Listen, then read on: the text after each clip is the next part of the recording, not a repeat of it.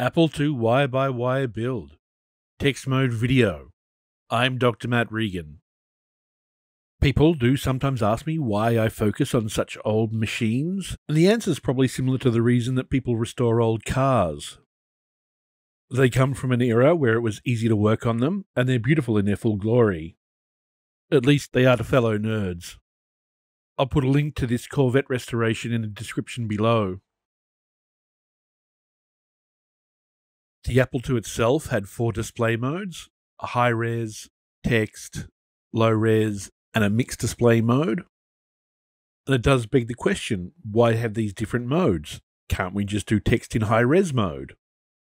The ZX Spectrum, for example, just had a single high res mode, and all text was done through high res mode. By the way, happy 40th birthday, ZX Spectrum.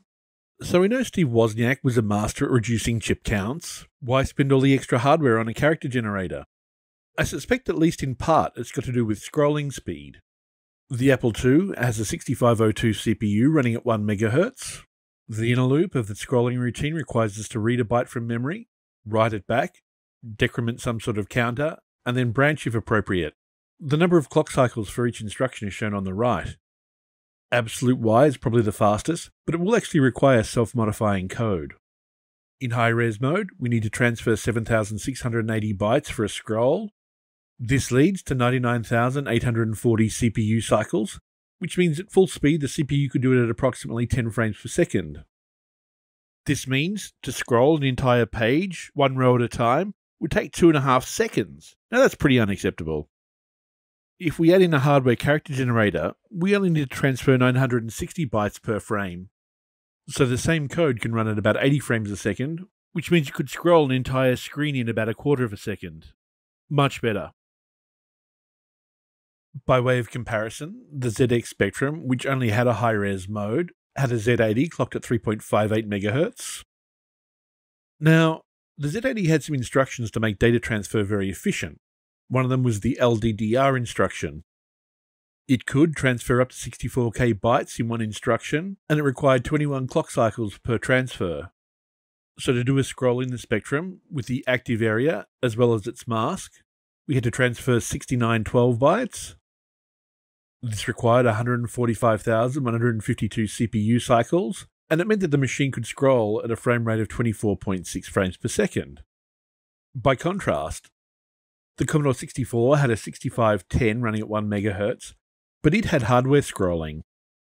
So, in theory, you could scroll the screen every scan line, and possibly even more often if you wanted to. Jumping back to the Apple again, the video display mode was selected by some soft switches located at the C1000 page. I'll go over this in a lot more detail in an upcoming video. In text mode, the data to be displayed is located at 4000 to 7FF hex, and this is for a 40 character by 24 row display. But let's have a look at the sequence in high res mode. If we remove the relative line number and convert each set of 8 lines into a single row, then if we modify address lines A10 through A13 in the base address, we end up with the same mapping as text mode, so this means we have to do something else with the relative line number, and we have to fiddle with some address lines to get the same raster generator to work in text mode. Here's a block diagram for the machine that we've built so far. And what I'm proposing we do is we add in a character generator EEPROM before the shift register and tap off a couple of address lines from the address bus to control it. This is combined with our byte read from the main memory, which leads to the bit pattern that can be fed directly into the shift register. Adding the character set EEPROM is actually pretty straightforward. I just need to put it between the data bus latch and the shift register. Technically, it's a data bus D type flip flop. There is a difference between latches and flip flops. That is, latches are level sensitive, while flip flops are edge sensitive. The EEPROM I'm using is actually much bigger than I need, so I'm just going to tie all these excess address signals to ground. I'm going to try something different with this build. I'm going to talk over the top of it rather than play music. Let me know in the comments which one you prefer. First of all, I need to install the sockets for the character generator EEPROM and the multiplexer, which I'll discuss a bit later in the video. As usual, I need to hook up power and ground to these chips. I'm not sure why, but connecting power and ground always seems to take a long time. This is going to be a bit delicate. I need to disconnect the wires between the 74HC374 and the shift register, which is the 74HC165. And these are the signals I'm going to run through the character generator EEPROM. I have a bit of a personal preference when it comes to wire colouring. I tend to use red for data and blue for addresses. Here, through this octal D-type flip-flop, the data turns back into address, so I'm going to turn these red input signals into blue output signals. Those who have done quite a bit of wiring note that I didn't actually start on A0 on the EEPROM, and that's because I'm going to use lines A0, A1 and A2 as the line number, which comes from a different part of the circuit. I'm using a bit of a construction trick here. I'm going to install one address line and one data line, which I've beautifully checked. I know that these pins are the correct pins. I also know that there's some symmetry with the outputs and the inputs from both of these chips. What this lets me do is wire up the next three address lines and three data lines without looking at the schematic. So I'm going to continue on with the build, but while I do, I want to go over what we've learnt in the playlist so far. In the first video, I used rubber ducks in pigeonholes as a metaphor for memory, and then I showed the difference between read-only memory, or ROM, and random access memory, or RAM. Then I went over the three main buses out of the 6502 the address bus, the data bus, and the control bus. Then over the next couple of videos, I wired those buses up to the RAM and the ROM, and I also built a circuit that can detect when the C1000 page is being accessed. Now I haven't used this circuit yet, but that'll be the focus of the next video. Then, right before your very eyes, I connected the 6502 to a ROM RAM with an Arduino Mega controlling it. Now, the Arduino Mega snooped on the bus, or rather the buses, and it would send pixel data back to the PC for display. So it wasn't a truly independent system, but we did get to the point where we could display Apple II Pac Man running. You might find some purists on the internet that argue that it's not a real retro system if there's an Arduino, and that it's somehow cheating. To which I have two responses. First, the goal isn't to be a purist, the goal is to learn as much as possible, and you build confidence by building systems that work. So starting out with the simplest system possible makes a lot of sense. Unnecessary complexity that you can't debug just drains your confidence. And second, if you do want to be a purist, how about you build your own CPU? Why don't you jump over to the Turing 6502 playlist and have a look at what's being built there? Links above. I want to make some commentary on the build at the moment, so I'm going to jump back to what you see on the screen. I need to lay down the fourth address signal and the fourth data wire. I'll clean up the pads a little. This time I'm just going for a single loop around the pin solder it and break off the excess, form it into shape, solder the other end, and we're done. Now I need to check the schematic again. I want to do a bit of planning here. I want to lay down the fourth wire, but its path is going to go directly over the fifth data wire. So what I'm going to do is solder in the first part of the fifth wire, and then finish the fourth wire.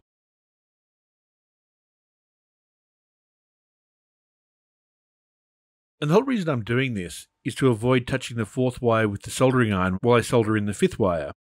Just little bits of planning like this can just make the build a lot easier. Unfortunately, you often realize after the fact that you should have done it a different way.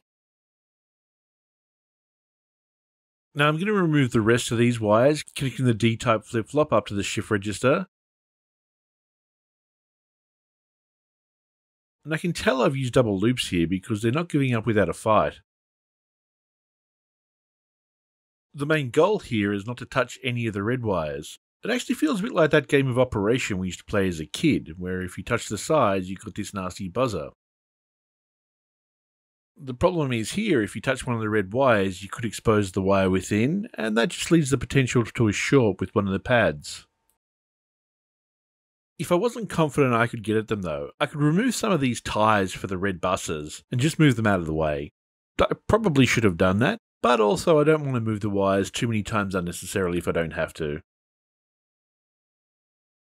Now, I'm not quite sure what I was thinking when I cut this wire, because it doesn't seem to fit on either pathway. If I go through the middle of the chip, it's too short. If I go down the side, it's a bit too long. But I think it naturally makes more sense actually to go down the side, so I'm going to choose that route and just try and cut a little bit off with the soldering iron. This plastic shielding is actually quite resistant to heat, so you need to be quite careful to get it just hot enough to remove it, but not too hot to make an absolute mess of it. Again, you'll notice that I've changed sides of the chip. Those me with wiring up these sort of EPROMs will know why. Running down the left side of the chip, it's A8, A9, A11, chip select, or output enable actually, then A10. These patterns kind of get burnt into your brain after a while, and allows you actually to wire these sort of things up without a schematic pretty easily. Except it looks like I spoke too soon, this one's too short. So I'm going to use my soldering iron to make an extension with some of the adjacent shielding. So it actually means there'll be a short break in this wire in the shielding. I'm going to tie down this group of wires near that break just to make sure it doesn't touch anything in the future. I'll finish this group of wires that I'm wiring up now, then I'll connect up all the ground signals I need to the extra pins on the EEPROM. While I do this wiring, I'm going to jump back to the discussion about the playlist. So after part 7, where I got Pac-Man to play on the 65C02, I wanted to develop an independent display system. I didn't want to have to send pixels to the PC. I started a video on the EEPROM-based raster generator, but I realised I wasn't doing a very good job of explaining it. Given that this isn't exactly how the Apple II generates video, I decided to build a raster generator somewhat similar to Apple II's raster generator on a breadboard, but even actually simpler than Apple II's raster generator. I spent a whole video on horizontal sync, then vertical sync, another video on how Steve Wozniak's addressing scheme worked for video memory, then a fourth video on the actual bring up, just to show that it does really work. Once that was done, we went back to the EEPROM based design and built a finite state automata or state machine that counts through all the memory locations in a video sequence.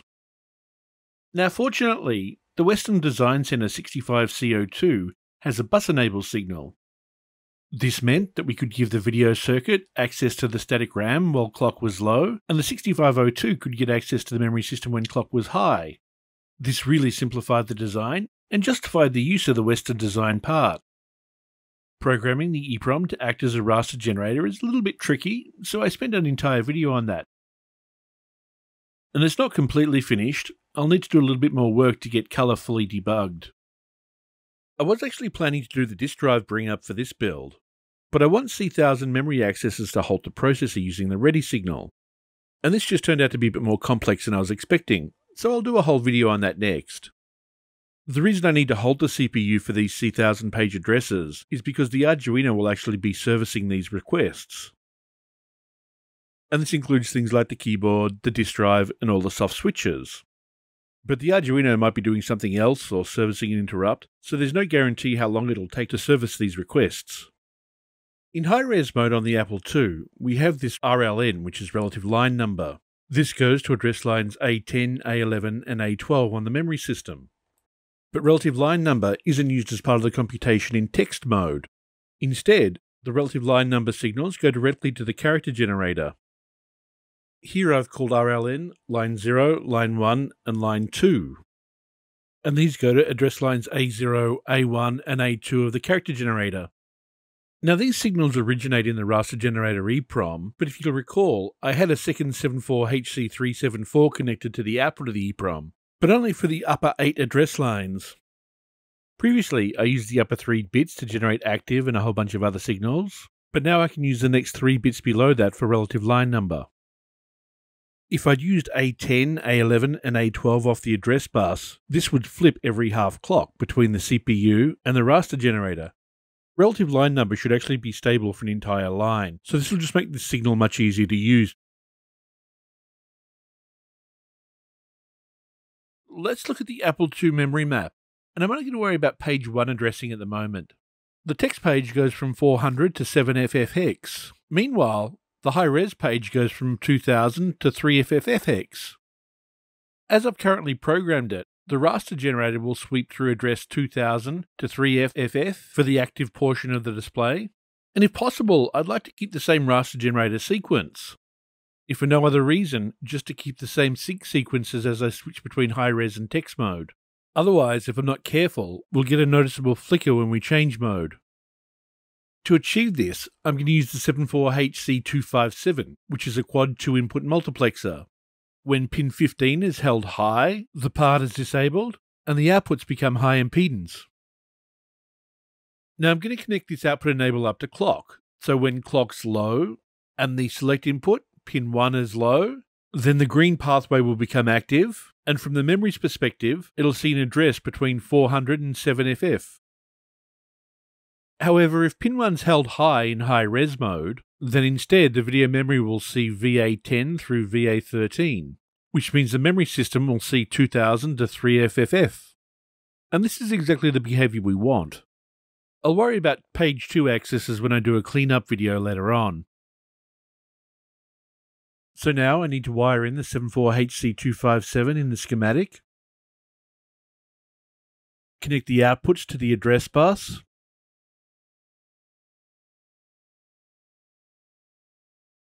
I need to intercept A10, A11, A12, and A13 and connect them up to the 74HC257. And I'm going to make a new bus called VA10 through 13. Connect these new signals to one set of inputs on the multiplexer. I'll set the other input on the multiplexer to 01 hex, but because of the bit position, it'll be seen as address 400 by the memory system. When clock's low, I want this 257 to be active, but when clock's high, I want the output to be off so the CPU can have access to the memory. So I've put in place this 74HC257 to allow different parts of the static RAM to be accessed for the various display modes. This is where things could start getting a bit hairy. I've got to disconnect four address lines between the raster generator and the main address bus. And it just so happens these are the four lowest address lines on the 65C02, so I got a bit lucky and have pretty easy access there. I wouldn't like to be getting access to A0 through A3 at this point. Now, it could be argued that if I designed the whole thing from the start, I wouldn't be running into these sort of problems. That's a fair criticism. But part of the fun is actually coming up with these solutions to the problems that you've created for yourself. One of the reasons I like working with this sort of perf board is that you can actually iterate the design as you go along. If you're building a PC board, you have to do the design up front, but I prefer the iterative approach, and there's much more instant gratification when you build a section and get it to work. I'm actually very excited to get text mode working. It'll be a major milestone for the project. I haven't really discussed yet how I'm going to switch between the modes. The display mode is controlled by the CPU writing to some of these special C1000 locations. The plan is to have the Arduino intercept these memory references, and in turn, it'll produce some outputs for the mode and for the page number. Now, assuming the page number's high for page 1, I can connect that up to pin 2 and the inverse up to pin 5.